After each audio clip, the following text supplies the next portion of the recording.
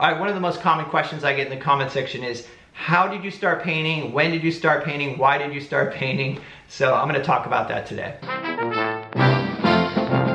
All right, so I just got high-speed internet so I can upload really long videos. So I'm gonna do this podcast style, not a lot of editing, so here we go. Um, so I'm gonna start with the beginning. Uh, as far as like growing up as a kid, you know, I drew occasionally, uh, like drawing just like most kids. Um, and I always took art classes in school, but I wouldn't say that I was exceptional. Uh, I didn't really stand out as an artist. I was more of what I would call like a creative kid. You know, I just like making things out of wood. In particular, when I was young, I used to build little boats and little things like that out of balsa wood and they would be like scratch building, so there was no plans or anything. I would just go to a hobby store and get balsa wood, and then I don't even know, I guess I had some kind of idea in my head, and I would just build these little boats. Also, I remember other things like building little houses or log cabins uh, using toothpicks, and um, and then I take cardboard and make uh, roofs for it and paint it with tempera paint and stuff. So I was mostly just a crafty kid when I was young and primarily focused focused on music. I loved music, and um, so that was my real passion as a kid. Uh, I wanted to learn how to play guitar really badly, so that's kind of uh, what I did. Starting at set, the age of seven, I started taking guitar lessons. And I didn't really connect with the music. There were, you know, it was mostly um, just like nursery rhyme type stuff, and I wanted to be playing the Who or the Beatles or whatever, uh, Elton John, stuff like that. Anyway, so, um, but I did stick with it. I quit the lessons, but then, you know, as I got older, like around seventh grade, eighth grade, you know, I started learning how to figure out songs by ear, you know, listening carefully. At, the, at that time, it was records, you know, you'd put the record on, listen, and then try to figure out what was going on. Um, and that process, that's how I learned. Um, you know, I quit the lessons and then I just learned by just, yeah, listening to records and just trying over and over to hear what was going on and replicate what was going on. So uh, the musical journey went through my 20s, um, you know, was writing music, playing in bands and stuff, and didn't really do anything artistic or creative uh, that I can think of. Yeah, I was mostly really focused on music. Um, in 2001, uh, my daughter was born, Emma was born, and at that time I was still playing music, but um, you know I couldn't. I I guess because she was little, you know, I just couldn't really play music in the house, and I did feel like this need for some kind of creative outlet. Um, so what I did was I actually got into um, building a model train setup for like for Christmas. When I was a kid in New Jersey, one of my fondest memories is um, we had my grandmother's brother, we called him Uncle Francis, he would come and visit us and in the wintertime, like over a Christmas holiday and there'd be snow and everything and he liked to walk. So uh, we would walk uptown with him and I remember there was a travel agency, travel agency that had this really cool alpine scene with a little train going around the mountain and stuff, very Christmassy. And anyway, I used to stand in front of that window and look at that little world and get lost in that world and really enjoy it. And um, so, uh, you know, Emma was born and it was, it was like, I think the first Christmas. and I thought, oh, I'll build like a little you know, a little scene or whatever, a little train scene, like I, and build a little train model.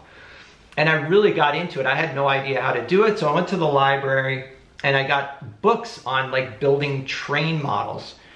And um, so I did that and built all these little houses and it was like a little town. The strange thing was it wasn't a winter scene. It was like a desert scene for some reason. I don't know. Anyway, um, so I really enjoyed that. At the end of building that train model though, I thought, where am I gonna put this thing? and I still want to be more creative. I still want to make more. I want to continue to be creative, but if I keep making these train layouts, yeah, where are where am I going to put these things? You know, I don't have the room for it. So I needed another creative outlet. About that time, for some strange reason, I I got this idea that I wanted to have real oil paintings in the house. And um, and uh, the first painting I wanted to do was of Cape Cod, which was a vacation spot that I went. And This was 2003 at this point. This is when I started. It was August 2003 was when I started painting. And the reason I started was, yeah, I wanted to have artwork in the house, but also I was missing our summer vacation to Cape Cod, Wellfleet, South Wellfleet on Cape Cod, which was always a really special place for me. And uh, we weren't going because when we were out there in 2001, September 11th happened. Uh, we had literally landed and were there for a couple days and then September 11th happened and um, in fact, the airport, Logan, that we flew out of Boston, just opened up for us to be able to fly home. There was literally nobody on that flight. So we didn't travel for a couple years and I was really missing it. And I felt like I just kind of want to get into this process of doing a painting of the place to remember, to have it on my walls, whatever. So uh, I went to Aaron Brothers and I got a 14 by 18 inch panel and I don't have an image of that painting unfortunately. If I do I'll insert it but I don't think I do. Um, and um, so I went and got some supplies and I got a Grumbacher starter kit and I started painting and I think I spent like I would paint at night in the garage which has now been converted into my studio but it was a garage at that point and um, and I spent probably four consecutive nights between four to six hours on it. And I was like painting every blade of grass into the dunes. It was a picture of a little cottage on the dunes and I was putting every blade of grass and it was basically, I was just replicating a black and white photo that I had and then I was colorizing it with what I imagined the colors would be. Um, I was obsessed and but I also realized I needed more information. Like there was something about the painting. I was like, it doesn't look like a painting. It looks like a painting of a photograph. And I thought, all right, I need more knowledge. So of course, you know, from my previous experience with like the train models, I was already really good at going to the library and finding any information I needed. Uh, and that's what I did. So I went to the library and I just, I checked out some books by Emile Gruppe.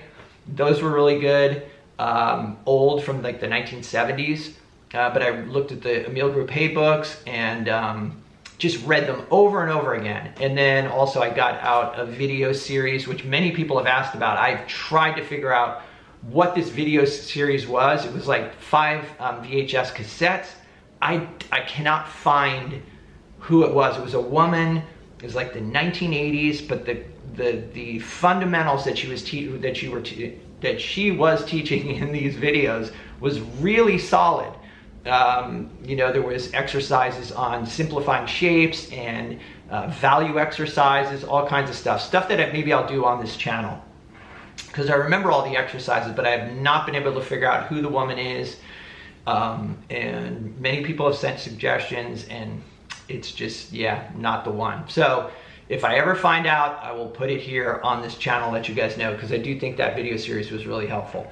Uh, so anyway, so I started really devouring books and looking at a lot of art too, particularly Edward Hopper. You know, um, I was really drawn to paintings with sunlight. So the Edward Hopper paintings were, were um, and also too, because Cape Cod was such a special place to me, um, when I looked at Edward Hopper's paintings, like he was painting Truro. He lived in uh, North Truro, which was one town from South Wellfleet where we used to stay. So there was an immediate connection with that part of the world or, you know, the subject matter that he was painting. It felt familiar to me. I loved the sunlight in his paintings. And um, so, and then somebody actually, I remember asked for, a, uh, I wanted a book of his oil paintings and um, I got a gift for Christmas of his watercolors. And I was kind of disappointed to be honest with you, but in retrospect, I, I think I like his watercolors. They were all plein air. I think I like them better than his oil paintings. They're super loose, really good paintings. If you ever get a chance to check out Edward Hopper's watercolors, take a look. Um, I think he almost paints sort of like a oil painter uh, in a way. His oil, his uh, watercolors, very loose, very cool compositions. Love that stuff. Anyway, um, so yeah, so here we are, 2003. I'm going to the library, I'm getting books out, I'm looking at videos, trying to loosen up, and I'll insert some pictures here, um, you know, along the way. but uh, so some of the books were saying, all right, you need to get out and you need to paint from life, or you need to do still lives from life paint from life as much as possible. And I'm like, all right, uh, that sounds good. So I'll do that. So I got a plein air set up and I started going out and the first plein air I did was in my dad's backyard because I was nervous. I didn't want to like set up out in public and whatnot. So set up in his backyard. He had kind of this like uh, a little lily pad pond and some trees and whatever. And I thought, all right, I'm gonna give it a go out there. And it was kind of like, I felt like it was a disaster, but at least I broke the ice. Um, and then around that same time, I thought, all right, I'm gonna set up a little still life, almost like something Cezanne would do. So I set that up. That also just, I felt like the composition was kind of wonky. Everything was kind of too low and I didn't have any idea about composition at all. So I realized around that time, 2003, yeah, I needed some, I needed some more information still. And so I started looking around. At that time, I could, you, I think, yeah, I was, I don't remember. I think people just had websites around that time. You know, there wasn't, the internet was still just kind of warming up. I don't remember YouTube being around at all. So, but I do remember like searching for oil paintings and I found Tim Horn, uh, who's a painter in Marin County, and then uh, Randall Sexton, who at the time I believe was in San Francisco. Uh, they're both local guys and really like their work. Randall Sexton, super loose uh, stuff, and then um, Tim Horn had just really beautiful light in his paintings, and still does. You can check out both of those painters. Um, but uh, so I decided to take workshops, like weekend workshops. I took a workshop first from Tim Horn. It was like a weekend workshop and then I took one from uh, Randall Sexton, and that was in 2004. So still in that really beginning stage of learning how to paint. And uh, and I remember just feeling like my work was so tight, I couldn't loosen up. Like I even remember writing on my easel, like loosen up, you know, like you know, use a big brush. I would just like put all these things to remind myself on my easel, like literally write them on my plein air easel and at that point I was using a French, a full box French easel and used that for like probably the first five years of plein air painting, maybe even longer than that. So anyway, um, so here we are, yes, still in the first years of painting and um, I didn't feel like, I felt like I got a few things out of the workshops, but I realized though mostly was that I was just gonna have to get out as much as possible and figure this thing out for myself. Um, and that's kind of what I did. So um, I started painting a lot around town and I was drawn to buildings and cars and stuff like that. I would paint in sort of industrial areas where there wasn't a lot of people. Uh, like early mornings on weekends, I could go to industrial areas and like paint things like uh, just like buildings and trucks and random things like that. Um, so that would be up until 2005, so painting about two years there. Still really tight. I kind of understood how to separate things into shapes uh, really focused on that. And but then I was like, well, how do you loosen up? Like this all feels just so like puzzle pieces and everything, which is not bad. It could be appealing, but I wanted more. It just felt too tight, uptight to me. I wanted more vitality in the work. So at that time, I think I found Carol Marine's work online, and she was doing little six by six inch paintings and um, posting them every day, kind of you know this daily painting thing. And I thought, all right, maybe I'll get into that you know, I'll commit to painting every day. And I did exactly what she did. I got a blog set up, which was like basically a web blog, I guess it is. So it was like a, um, you know, I was uh, posting a painting a day on there, explaining, you know, the subject matter, whatever little notes about the painting, I put that in there. Um, and I really focused on doing simple little compositions, six by six only, really strong brush work. That was the whole goal with this. I was like committed, I think, to 60 days, I think I was gonna do. Try to do a painting every day. And I did that and I posted them on the blog with a link to an eBay bid, sort of where you could bid on the painting. And I think that instead of doing it for 60 days, I think I did it for six months and I've sold over 80 paintings of these little paintings for about $100 a piece. It was mind blowing to me. Those were my first sales. That gave me a lot of confidence um, and yeah, that was around 2006, but also too, I grew so much through that daily exercise. At about six months though, I felt like when I tried to paint a 12 by 12, it was frightening to me because it seemed too big. And so at that point, I thought, I can't do this daily thing every day doing these tiny paintings, even though I was making some money doing it. I just felt like, you know what, I gotta start painting bigger. I wanna start painting bigger. So I would still occasionally do a little six by six and post it, but I wasn't as committed. So about that time, um, I went back up, like I was, I still was plein air painting occasionally. Uh, and also too, to give you some context, I was working construction at this point. So I had sort of a flexible schedule, basically could get out, out to paint two days a week. Um, about maybe occasionally on the weekend. So I didn't have a lot of time for painting um, because my daughter was young, I was working, it was challenging. It felt like the growth was really slow because I didn't have enough time to really dedicate to it. Um, but about this time, around 2005, I was really thinking, yeah, I don't want to do this construction forever. I would love to be able to do be a painter for you know as a job, even though I didn't know what that would. I had no idea how to go about that. So anyway, um, so. and there's a lot that happens between 2003 when I started and 2007. After that, a lot of growth in the very beginning. After that, it not so, uh, I won't say not so much, but the growth was, was slower. So we'll get to that. All right, so where are we up to? We're up to 2006 when I was doing all these little paintings, um, which led to another show, a group show um, in Pacifica uh, called 50-50, where you do 50 paintings in 50 days. Again, little six by sixes. And I was like, God, do I really want to do more six by sixes? You know, I've done so many of those and I'm trying to paint bigger, but this show shows a good opportunity. And I thought, all right, I'm gonna do it, but I'm gonna do cityscapes because they scare the heck out of me. I don't know how to do those, right? So I thought, all right, I'm gonna commit to 50 days of painting cityscapes. So I went up to the city, shot like 500 photographs on multiple days, just and then edited them, you know, cropped them, experimented, trying to figure out how to compose. And then I did 50 paintings and I believe like half of them sold which was great. That was really encouraging. I think ultimately almost all of them sold. There, I still have maybe 10 out of those 50. So I realized, wow, people like these paintings of San Francisco. This is cool. And it's a fun challenge. So that was again around 2006.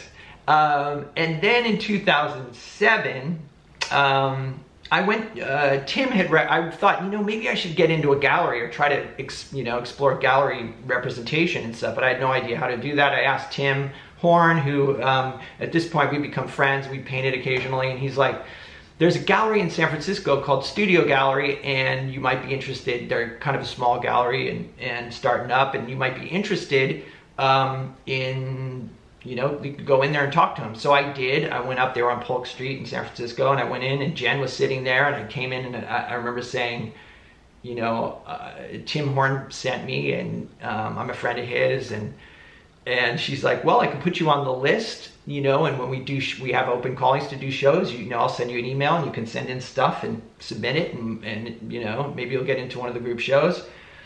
And um, this was the beginning of 2007, maybe the end of 2006. And I just felt like, and I was like, oh, okay, cool. And so I, you know, signed up, but I never really pursued it. I think she even sent, you know, I was on the list, so I got the notification for certain shows. I just didn't really, I didn't really do it. I, I think I had a different idea of what I wanted. I was like, oh, I don't want to do that. I want to be in a gallery or something. I don't know what the hell I was thinking. So I didn't really pursue it very much um, at all. Like I didn't participate in any of the shows. Like I never sent stuff in and, and kind of forgot about it. Uh, then in summer 2007, uh, Tim Horn and I went to um, back east to Maine and uh, went to Monhegan. Now he stayed on Monhegan the whole time, but I had family in Port Clyde, which is nearby. So I went out, I stayed a night in Port Clyde with Tim and we kind of painted around that area. Then I believe we went out for like three, I went out to the island for three days, painted out there. Wasn't super inspired on Monhegan. There were painters everywhere and it was cool to go out there, but I just didn't feel like, I just didn't feel as inspired. I, I, so I didn't even paint, I think I painted one painting out there, maybe two.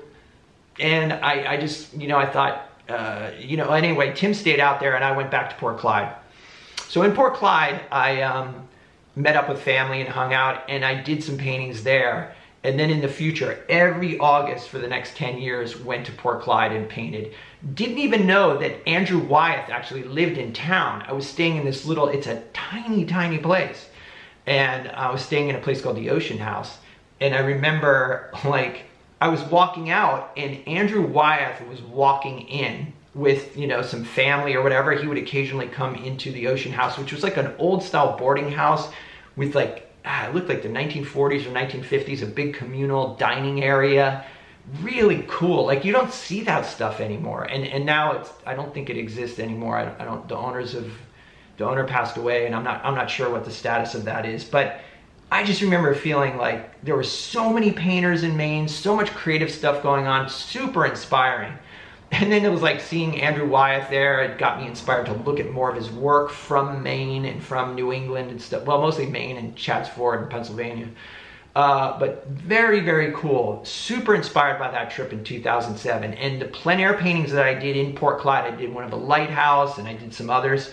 I felt like it was next level for me. I'd gotten loose, I'd loosened up from all those little tiny paintings I did.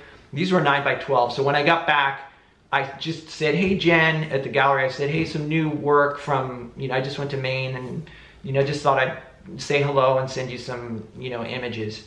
And she was like, these are great. She goes, uh, I have a show right now called People, what was it called? People, Places, and Things, something like that. It was just like a kind of anything goes kind of show. And she's like, I got a show right now. Would you want to participate? And I said, sure. And she's like, do you mind if I come back by and pick out some work? I was like, no problem. Like, yeah, sure. And she's like, what, you know, what's your schedule? And I was like, I'm flexible. Come over whenever. She did.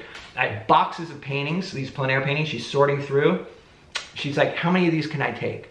I was like, take as many as you want. And she's like, are you serious? And I said, yeah. And she goes, uh, what did she ask me?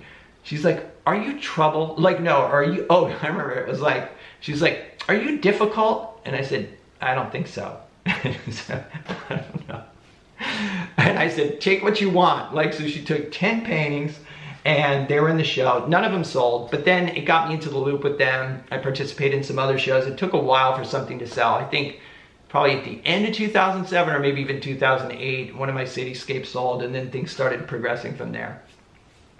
So I was pretty much just working with their gallery and they had a show at the end of every year um, called Tiny where you paint uh, six by sixes. They have to be like six by six or under seven by seven inches and under $500.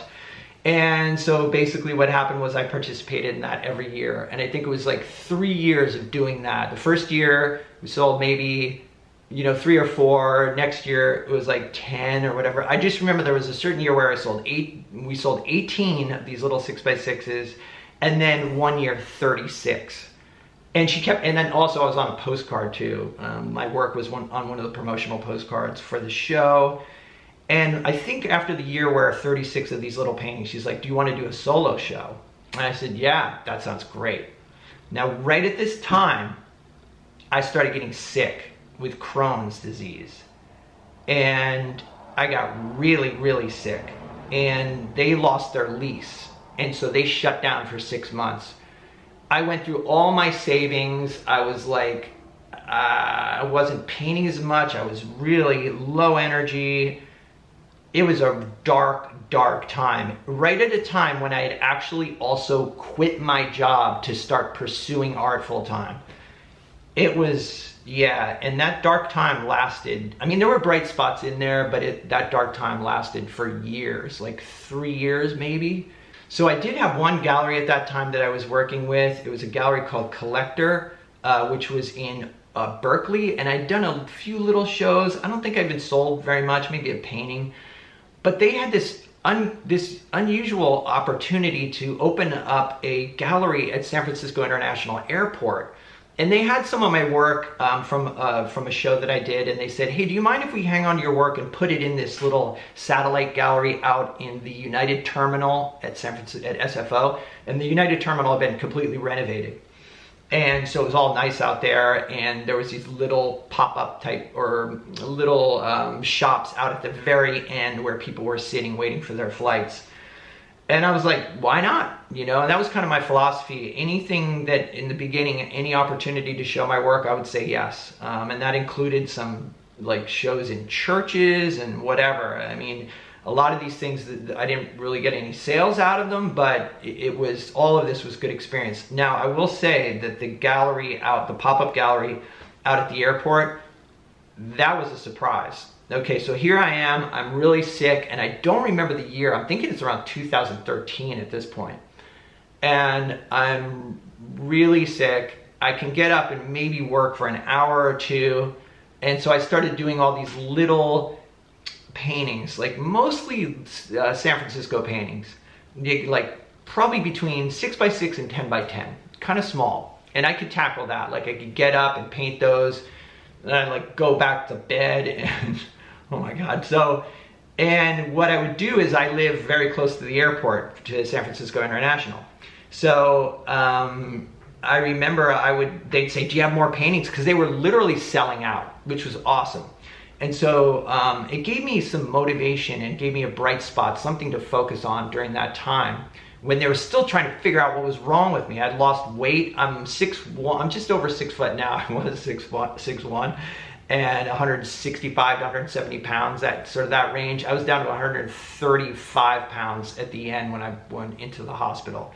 So it was, yeah, it was um, really bad. Now I won't get into the whole Crohn's thing right now because I've talked about it in previous videos, but um, they were still trying to figure out like what's wrong with you, you know, like, and um, uh, they finally did figure out and got on medication and stuff like that, but it took a while to get back to normal. Like, like I said, almost two years to the point where I felt normal again.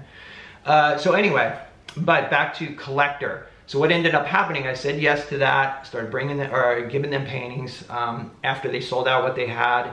And it was really convenient for me too because the airport is like 10 minutes away. I would literally drive into the airport and they would meet me, uh, let's see, on the upper level, which I believe was um, was departures. No, it was arrivals or something. I don't know. Anyway, it was whichever level the guards don't yell at you to, you know, keep going. So I pulled up and I would, you know, and I would say Sky was the woman who ran the gallery. I'd see her there. I'd roll down the window, hand her a box of paintings. We'd chat for a few seconds or a few minutes sometimes. And then off I'd go back home. And that lasted for like the whole time that studio was closed and looking for a new place to, uh, like a new gallery. And um, so, I, you know, I finally got medicated and I was starting to improve um, a, a, we sold like a lot of paintings. I don't remember how, but between 50, 75, it could have been 75 paintings. It was a lot that they sold, mostly small stuff. So it really did help, but I was going through, I did go through all my savings. I was like, I had pretty much nothing left. And, um, but then Studio found the present gallery they have, beautiful spot. And they're like, do you want to be, I think I was the first solo show in that new spot, if I remember correctly. And Jen's like, we got a spot. We're slated to open, I think it was in the fall. And she's like, do you want to do a show? You still down for that? And I was like, yeah, definitely. So that was a motivator and a real struggle because I, like I said, I was still just kind of coming out of the whole Crohn's thing. But I did, I put that show together and it ended up, thankfully, it did really well, um, which gave me that financial boost to keep going. Um, and this is, I guess, the point where things kind of slow down. Like, I, I think from there on, I was making money um, doing these, you know, doing shows. And I did, like, I started showing at Elliott Fouts as well up in Sacramento. And so I had income from the paintings. Uh, and I was able to, you know, I was still cutting it really close. Like I would run out of money and then I'd do a show and then I, you know, then the money would run down again. It was very stressful. And one time there was a show I did up in Sacramento that just for whatever reason didn't sell very well. And I was like broke and I was like, what am I gonna do? You know, like I can't live like this. It's too, too stressful. Um, and so that was the time where I ended up throwing a little art party at my mom's place, ended up selling like $4,000 worth of paintings, which kept me going a little further. It just like so many years of just kind of that up and down, which was just not, I just got to a point where I was like, I don't want to live like this. I can't, it's too stressful. So then I thought, all right, well, I'm gonna start a YouTube channel. And that was about three years ago. And I just, the original idea was just to share you know what I know because I felt like when I was starting out it was so, such a struggle to get information. A lot of people don't like looking through the you know through um, like the library or they don't learn so well from books and I thought you know I got a lot out of those video cassettes when I started out. And um, I thought, all right, I'm gonna just do some videos, but I don't even know what I'm gonna do. I thought maybe I'll do like plein air vlogs or anyway. So I just got started with the channel and kept going with that and it's as you guys some of you have followed along you've seen how it's evolved and it'll continue to evolve and i think i just posted in fact the last video was video number 400 and when i started with videos i was like all right i'm gonna probably have to post a thousand videos before i see any kind of revenue from this.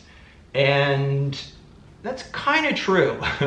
So i do it because i enjoy making videos. I enjoy um, you know, the interaction with people in the comment section. I've met some really wonderful people so, that have become good friends through the, through YouTube and through my painting, um, you know, through this channel. So um, that's kind of where I am right now. So now I'm doing one big show a year, uh, which is at Studio Gallery. Uh, I'm still at Elliott Fouts as well, and also at Show Gallery in Berkeley, but I, I don't have as, just because things have been so busy, I haven't brought them new work in a while. Um, but I'll continue my relationships with them. I have good relationships with those galleries as well. But the main focus has been on just this YouTube channel and um, and developing a way to sell uh, artwork direct, you know, through through Instagram and stuff like that. So the journey has been you know, it's constantly evolving, but I do feel like have what I've learned is that I'm much happier now that I have multiple income streams. Like the, the YouTube brings in a little bit, which is enough to kind of allow me to only do one show a year. When I was doing a lot of shows, uh, you know, you start ending up getting influenced by what sells. And I feel like you know, artistically, it can be stifling to depend on selling paintings for a living. So it's nice to kind of diversify your income so it frees you up creatively, which is really important to me. Um, I found that now that I can own, that I can do one show a year, and um, and I can just then I get back into the exploration and experimenting and trying stuff. I don't care if paintings fail. I really do love. Uh, exploring and experimenting and making discoveries. To me, that's the thing that, that, that excites me the most. So I feel like, you know, that, that I have a good balance at this point. Um, and so I'm excited about the future, to be honest with you. I'm very excited. I'm excited about, you know, what's going on here on this channel. I, I love getting comments, people, you know, letting me know that they're getting inspiration from what I'm doing to get out there and paint, which I think is awesome. It just makes me so happy. So anyway, that is all I've got for you. I think, I mean, it's enough. I know, it's enough. But, uh, uh, so if you've made it all the way to the end, I'm glad you're still here. Uh, and I wish you creative success. And the thing is, it's a rough road or it can be challenging at times. Enjoy the journey, be patient, and do not quit. That's what I'll say. All right, so stay creative. I will see you in the next video.